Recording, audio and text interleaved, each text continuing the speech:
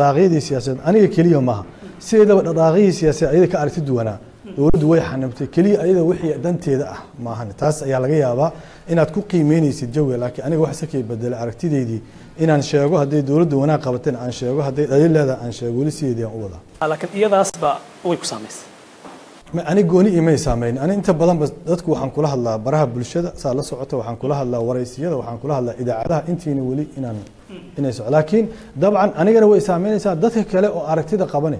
Way saameynaysaa dowladda. Waad ogtahay wasiirka amnigaa soo saar inaan shir la qaban karin ilaa dowladda ay ka warqabto maane. Wasiirkii dastuurka dowladda u qaabilsanayn oo ku diiday dowladda waxay ku shaqaynaysaaba sharci darahaba inay xadido dastuurka xuquuqda ku taalla ee qofka muwaadinka uu leeyahay inuu associationka ama ka qayb gala siyaasadda ama kulamada ka qayb gala ama ra'yigiisa oo si nabadgelya u cabiro intaba inay ka hor timaado waxay ka mid tahay caburinta weliba gaar ahaan hay'addii loogu talagalay inay argixisada la dagaalanto iyo shabaab la dagaalanto oo nisa in loo isticmaalayo in lagu caburiyo siyaasiyiinta gaar ahaanna annagana loo taargetgalaysa xisbigana wadajir. Golaha amniga qaranka shirkoodii muqdisho ayuu ku soo gabagaboobay sidaad la socoto dabcan dad badan waxay u arkaan in horumar ay ka gaareen. Warmurtiyeedkii laga soo saaray sideed u aragtaa dabcan waan ka hadlay taas waana soo dhaweeyey haddaad bartayda facebooka iyo twitterka labadaba aad aad la socoto waan soo dhaweeyey laakiin weli waxaan ka qabaa anoo soo dhaweey waxaan u soo dhaweynay sababta waxay ahayd in markii ugu horreysay waxa aan hadda ka hadlayay oo ahaa sidii looga bixi lahaa ee, ku-meelgaarnimada xagga amniga iyo ku-meelgaarnimada xagga siyaasadda qodobadii la xiriiray ayaa horay markii ugu horreysay laga wada hadlay go'aana laga gaaray oo ah hanaanka doorashada in laga wada hadlo sida maaragtay four point five ka loo gudbaayo sida ciidan qaran loo dhisaayo ciidanka qaran mas'uuliyadda ay kala yeelanayaan iyo sida loo wadaagayo khayraadka oo qayb laga bilaabo qaybna ay dhiman yihiin. Waa midda aan rabno dowladda annaga inaan ku hagno waxa ay mudnaanta siinayso wax dadka soomaaliyeed wax u taraya oo dowladnimada iyo dhismaha nabadda qayb ka noqonaya. Saas daraaddeed annaga waan soo dhaweyn markii tallaabta dhinacaas loo qaado oo laga baxay waxyaalihii kale iska kambeynka ahay orientationka ahay ugu sawirta u badnaa markii la iska dhaafo dhinacaas la aaday. Runtii annaga waan soo dhaweyn laakiin weli saddex qodobaa ka maqan. Ee heshiiskaas isaga. Ah. waxaa ka maqan een, maqaamka gobolka banaadir lama cadaynin aad ah oo loo nuxuusiyey hoostaana loo dhigay. Arrintaas waa arrin aad iyo aad eh, waana la socotaa sababta ugu weyn oo meeyarkii hore xilka looga qaaday in ayada tahay. Eh, annaga weli waa dalbanaynaa in arrinta maqaamka muqdisho xoogga la saaro mudnaana la siiyo. Waxaa kaloo ka maqan wadahadalla somalilan iyo soomaaliya dhinaceeda. Kama maqna dowladda soomaaliyeed kuma jiraan. Lagama hadal lama soo shay qaadin meelay ku xusan tahan aniga kuma aan arag. Iyo guud ahaan arrimaha dib heshiisiintaba kuma xusna. Sida ay- ay noqonayso meelaha ay ka jiraan colaadaha iyo iyo dhibaatooyinka soomaaliya ay ka haystaan aniga kama arag iyadoo la sheegay.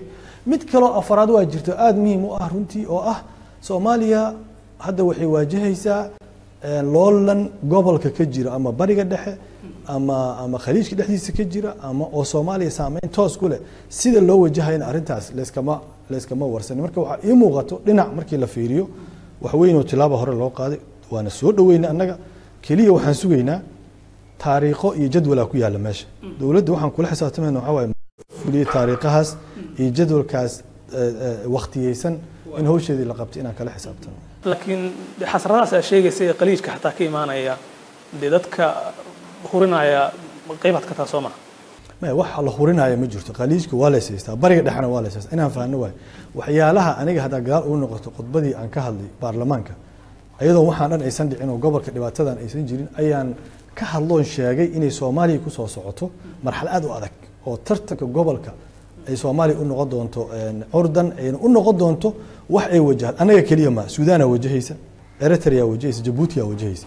Meelaha badda cas iyo badweynta hindi ay ku yaalaan oo dhan deegaanka ee gobolkan ka tirsan waxay waajahayaan tartan iyo loolan u dhexeeya quwadaha isku haysta bariga dhexe iyo gaar ahaan khilaafka khaliijka way saameynayaan in laga gaashaanto oo la fiiriyo oo istaraatiijiyadii aragti laga yeesho horaan ugu baaqay aniga doorashadeydii aan ku baaqay dadweynaha soomaaliyeed waan soo jeediyey ee dareenkooda madaxda waan kala hadlay. Intii aan sheegayo oo tilmaamaha togan aan sheegayana iyo talooyinka togan aan bixinayana runtii waan ka dhawaajinaya marka waana arrin u baahan in eh, indhaha lagu hayo Ee, labadii doorasho ee u dambeysay dabcan waa tartantay. Mid baa tartantay. mid un baa tartantay cafwan. Doorashadii u dambeysay weliba.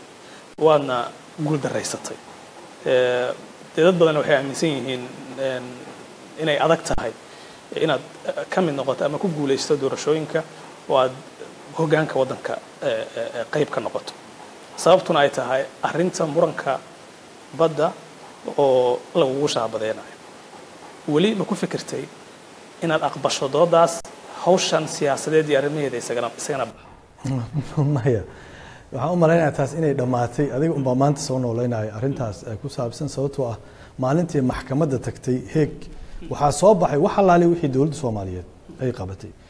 Midda kalene soomaalidu dowladnimada saan u fahno mas'uuliyadda go'aanada noocaas ee dawliga lagu qaato waa mas'uuli wadareed.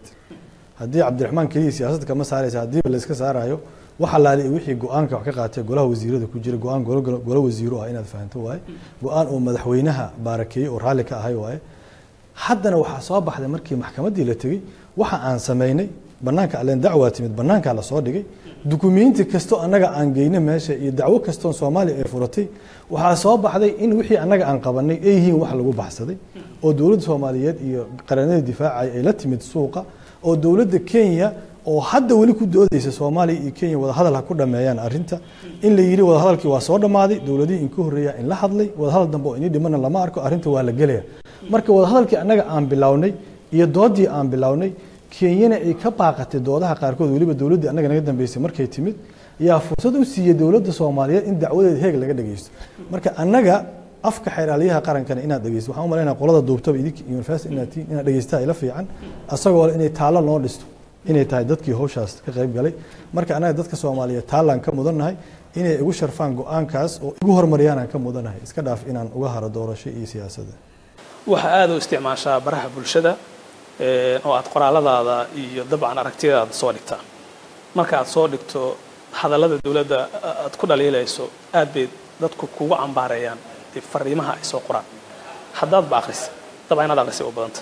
Haddii aad soo dhigto hadalla dowladdii lagu ammaanayana waa lagu taageeraa. Ma garowsan tahay rabitaankii shacabka inuu dhinaca dowladda jiro oo adiga aanay marnaba doonin inay dhegaystaan. Waxaa ficnaaleed inaad baarto sababta. Annaga dadka igala shaqeeya social media warbaahinta igala shaqeeya gaar ahaan social media arrintaas baaritaan ay ku sameeyeen. Accountnada dadkana dhaliila oo dhan aan baarnay oon gadaal u fiirinay. Account laba beri saddex beri ka badan jiro ma jiro.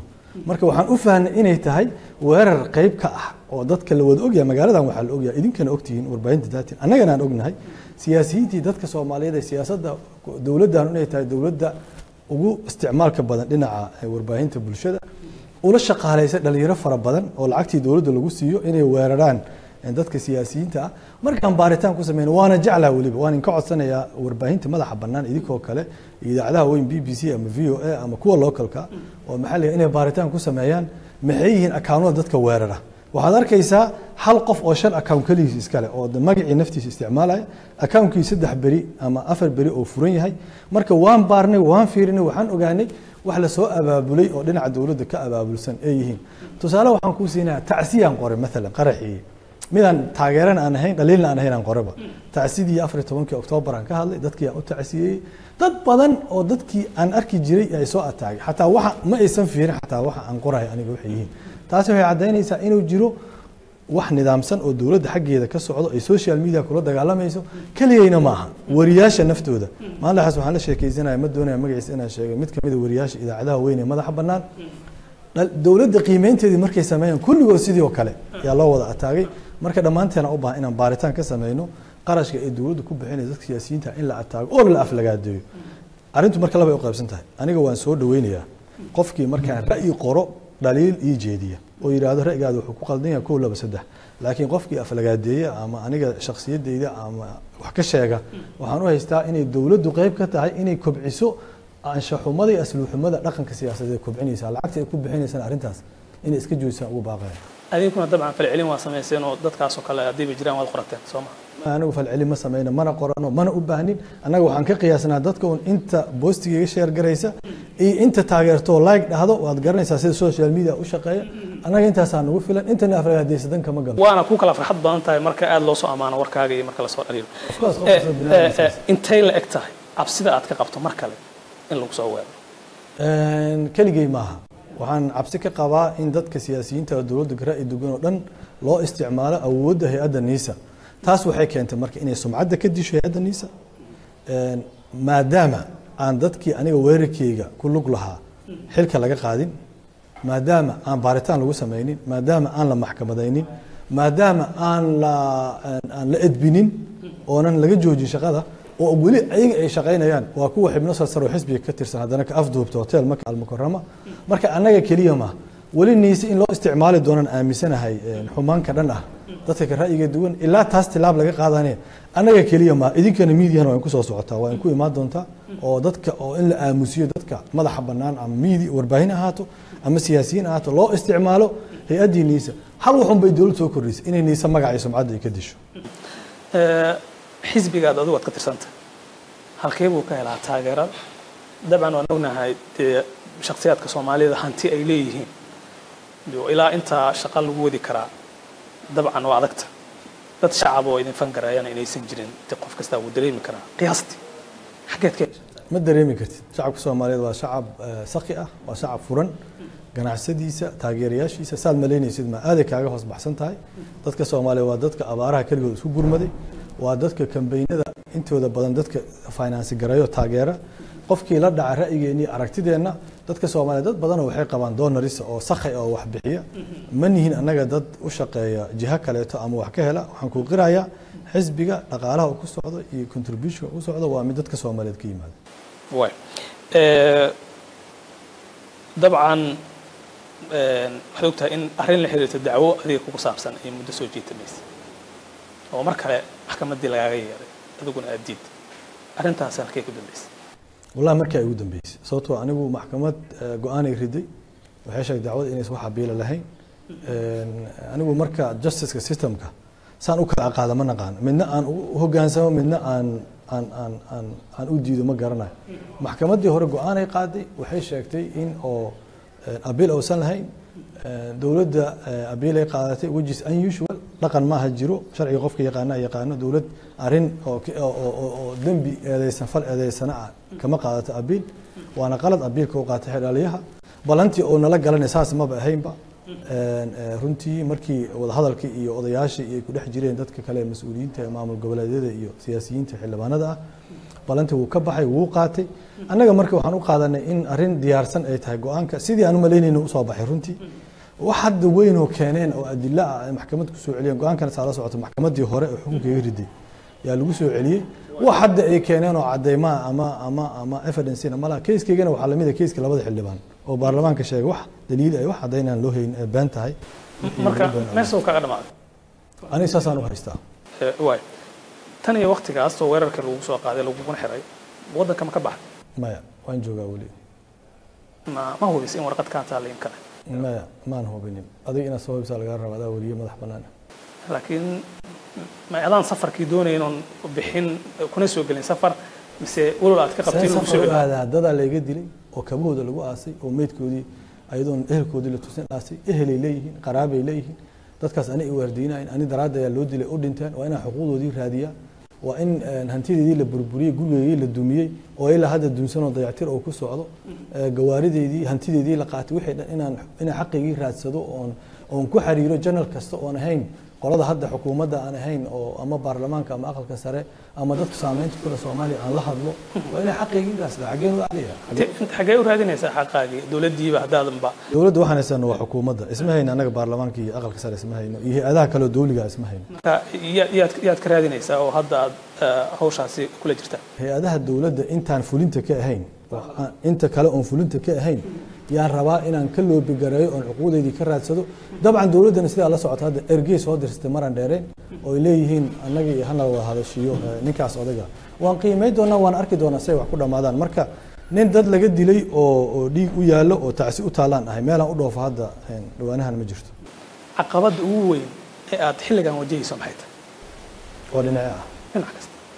Dhinaca caqabadda weyn oo wajahaya waxay tahay oon ka shakisanahay in nad dowladda keliya maaha.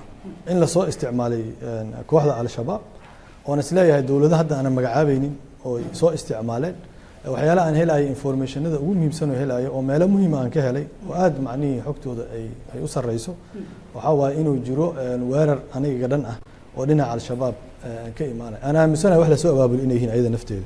Oo anigu- dowlado kale soo abaabuleen aad ka wadaa ee dad ka mid a dowladda.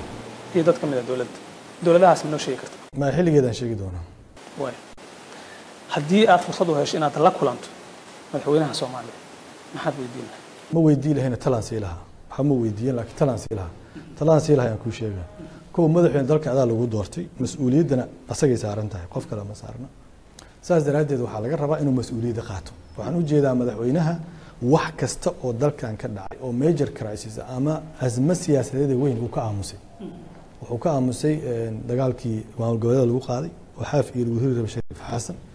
Wuxuu ka aamusay iyo maamul goboleed inta kaleba. Wuxuu ka aamusay shirkii maamul goboleeda intaysa aruursadeen ee kismaayo ku qabsadeen madaxweynaha kama hadal. Wuxuu ka aamusay loolankii khaliijka dhex jira ra'yigiisa nooma sheegin. Waxa uu madaxweyne inta boosaaso tegey nooma sheegin. Waxa d b wall iyo heshiiska boosaaso uu ka qabo. Saldhigga military ee berbere wuxuu ka qabo nooma sheegin. Waxa loolankii khaliijka dal ka socda nooma sheegin. Arrintii ugu muhiimsaneed qalbi dhagax madaxweynaha nooma sheegin wuxuu ka qabo xilligii ay mudneed wuxuuna noo sheegay ilaa haddeertan wuxuu ka qabo aniga weerarkaygii gurigayga lagu qaada dadka lagu dilay. Kii senator cabdi qaydi loogu dhacay gurigiisa wuxuu ka qabo nooma sheegin. Loolankii xilka looga qaaday ee maayirka muqdisho asagoo ka hadlaya ma arag madaxweynaha wuxuu rabaa crisis kasta oo siyaasadda dalka ka jirta inuu ka dhuunto. Kow horta waxaan kula tali lahaa inuusan ka dhuumanin hogaanka iyo mas'uuliyadda oo mas'uuliyadda qaata. Labo waxaan kula tali lahaa in uu dadka soomaaliyeed la wadaago caqabadaha dhabta ah oo qaran ahaan noo haysta oo naga hortaagan inaan ku baxno ka baxno kumeelgaarnimada dhinaca amniga iyo kumeelgaarnimada dhinaca siyaasiga. Dadka uu hor yimaado oo la hadlo oo dadka soomaaliyeed runta u sheego tabarta dowladda intay la eg tahay asaga ka madaxweyne ahaan dadka wuxuu ka rabo ka dalbanayo oo u sheegayo sababta intuu noo yiri shabaabaa laba sano ku jebinaya haddana lama jebi karo oo noo yiri sababta oo uga aamusay arrimahan kuu sheego muhiimka dhammaantood dadka soomaaliyeed hal waxaa la isku raacsan yahay adduunka. Dadka ka soo baxaya waddamada colaadaha ka soo baxaya oo fragile stateka la yihahdo post conflict society dadka la yihahdo hogaamiyaashooda hal waxaa laga dalbadaa inay dadka runta u sheegaan caqabadaha horyaal u sheegaan si loola hinjiyo oo loola qabto wax. Madaxweynaha marka waxaan ka rabnaa dadka intuu hor yimaado asagaa la doortay lama dooran qof kaleete inuu arrintaas u yimaado. Mid saddexaad waxaan ka rabnaa dadka aanan la dooranin ee awoodda lehen ognahay ee madaxtooyada awoodda ku haysta ee influensiga saameynta leh ee wasiirada kala bedelaya ee taliyayaasha kala bedelaya ee hogaamiyaasha ama xaafiiskiisa kuwa maamulaya kala bedelaya ay soomaalina og tahay madaxweyne mas'uuliyaddaas kama dhuuman kartida mas'uuliyadda qaado. Adaa lagu doortay qof aan la doorin awooddaada ku wareejin. Sidaasaan u sheegi lahaa. Tala. Ahaan sii leed. Muddaad ku soo jirta siyaasadda dee ilaa xaaladan maanta aad joogto. Go'aankaaga kugu adkay aad qaadata muxuu ahaa weli aniga dee boosista siyaasadeeda ugu muhiimsan runtii haddeertaan oon tala dal ku qabtay oo weyn ma tegin laakiin go'aankii igu adka aan qaatay wuxuu ahaa markaan siixaya heshiiska jabuuti oo cabdullaahi yuusuf dowladdiisii iyo maxkamadaha u dhexeeyey. Waxaan xasuustaa habeenkii markaan siixay teleefonkeyga silent moran geliyey. Markaan ka soo baxay waxaan ku arkay boqol labaatan iyo sideed miscool midkii boqol labaatan iyo sagaalaadaan qabtay. Ninkii ila hadlay xamar ogala hadlaya wuxuu yihi murtadaa tahay xaqii dadka mujaahidiintana ku takrifashay waana lagu dilayaa u dhahay jawaabtan siiyena waxay ahayd xamar dilku waa ka sahlan yahay wax kale ma haysaa hadda jawaabta aan siinayo qolada madaxtooyada joogta waxaa ma taqaanaa inay iweeraraan oo isoo dilaan oo dhibaato ii geystaan dhinaca hubka kaas waa dhaqankii al-shabaab. Cabdiraxmaan cabdishakuurna horuu shabaab uga baqi waay horuu isku dadil uga baqi waay horuu xabado uga baqi waay go'aano kuwaan ka daranna uu soo qaatay ayagana waxaan kula tali lahaa qof in la dilo lagu duulo waa waxa ugu sahlanoo qof kastoo xamar jooga oo samayn karo. Laakiin hoggaan waxaa laga rabaa dalka in la nabadeeyo dowladnimo la dhiso soomaalidan kala maanka ah laysku soo dhaweeyo heshiis siyaasadeed la dhex dhigo dastuur isku raacsan la keeno waxay aqbalsan yihiin hogaamiyo yaa laga rabaa dadka madaxda ah. Ee waxa ugu sahlan ee nin askariyo jid maraya oo qabo karo madax inay qabato lagama rabo. Haddiiba dee waktigaaga ku gaarsiiyo mar kale ma isoo sharaxaysaa xilka madaxtinimo ee dalka? Aada iyo aad dalka soomaaliya ani aragtiyaan ka leeyahay. Aragtidayda isku tashiyaa la yihahdaa waan qeexay waan la wadaagay baarlamaanka. Unfortunately nasiib darro xildhibaanada aaday u soo dhaweeyeen laakiin waxyaalo kaloo badan oo duruufaha markaas jiray oon dhammaystirnayn daraaddeed oona rajaynaya soomaaliya dhaqankaas ay ka gudubto oo dadka lagu doorto waa la arkay dad huhaa iyo lagu dooranayo waxaan meel tegaynin dadka aragtidooda iyo go'aan qaadashadooda iyo dadnimadooda iyo khibradooda iyo waayo aragnimadooda in lagu doorto. Yaan yaan rajaynaya waxaan marka aan aan aan aan dadka soomaaliyeed iyo shacabka soomaaliyeed aniga aan aaminsanahay maalin kastaba inaan ka helayo taageero xoog leh aadaan ugu mahadnaqaya dadka ila soo xiriiro oo baraha bulshada igala soo xiriiro oon kala gaari waayo runtii. Tirada badan leh dadkaas taageerayaasheeda maalin maalin ka dambeysa inay sii badanayaan. Maalin maalin ka dambeysana soomaalida inay realitiga iyo waaqaca dhabta u soo dhawaanayso yaan aaminsanahay aniga. Oo dadka khibradda iyo hogaaminta leh ay fursadda mustaqbalka ay leeyihiin aad baad umadsanta adigaa mudan